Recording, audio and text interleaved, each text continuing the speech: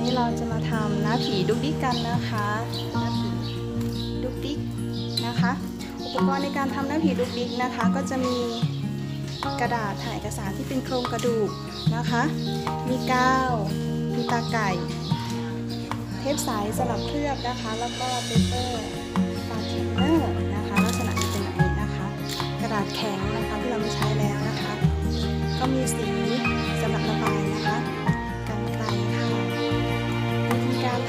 นะคะเราก็จะนำกระดาษนะคะระบายสีนะคะระบายสีเสร็จแล้วก็จะได้แบบนี้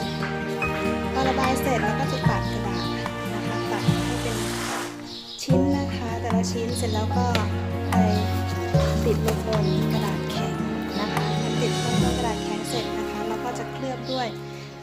เทปใสนะคะ ก็จะเป็นแบบนี้ หลังจากนั้นนะคะเราก็ จะเจาะให้เป็นรูนะคะ โดยใช้ตาไก่นะคะ ซึ่งรูปภาพแต่ละรูปก็จะมีวงกลมไว้ให้แล้วก็เจาะตามรูนี้นะคะ หลังจากนั้นพอเราเจาะเสร็จนะคะ เราก็จะได้ลักษณะแบบนี้นะคะ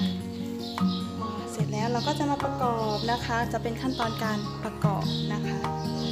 ขั้นตอนการประกอบ โดยจะใช้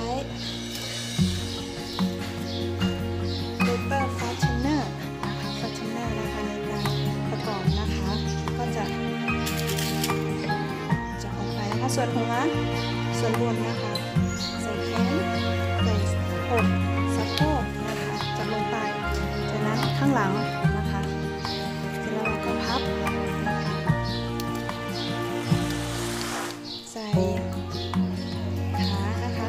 อันนี้อาจจะไม่เหมือนกับคนทำสีส้มนะคะเนื่องจากว่าเมื่อเช้านี้ทำหลายตัวนะคะ แล้วก็ชิ้นส่วนหายนะคะ นะคะเราทำไล่เล่นสนุกๆนะคะไว้ให้เด็กๆได้เล่นนะคะ หรือใช้เป็นสื่อการเรียนการสอนห้นักเรียนคลายเครียดนะคะนักเรียนฝึกทำนะคะเด็กๆประถมทำเองได้นะคะสามาทำได้ตั้งแต่อนุบาลนะคะ เราก็ช่วยเขาด้วยนะคะ หลังจากที่เราทำเสร็จแล้วนะคะก็จะได้แบบนี้นะคะ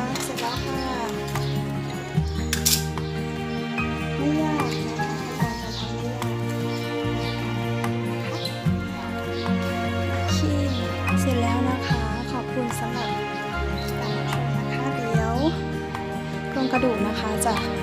แปะไว้ข้างล่าง